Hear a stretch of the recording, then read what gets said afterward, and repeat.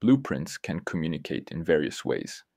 The following tutorial compares the three common ways casting, interfaces, and event dispatchers, including when to use which one. Casting. In the pickup blueprint, after the player overlaps, use get player character, then cast to the character to confirm it's the right class, then destroy the actor. Use casting when you need a direct call to a known class, but use sparingly to not create too many dependencies, aka coupling between blueprints. Interfaces. Create a blueprint interface called interact interface with a function iInteract. Implement iInteract in the chest and door blueprints to open them.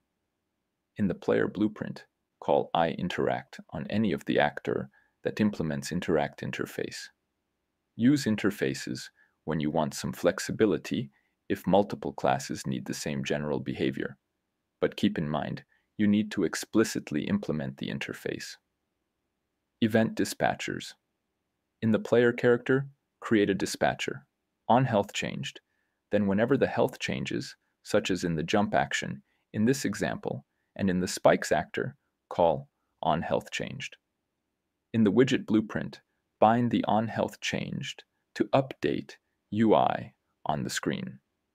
Use event dispatchers when you need a single source with multiple listeners, but do not forget about binding, unbinding carefully. Tune in every week for quick tips and tricks for Unreal Engine 5. Thanks for watching.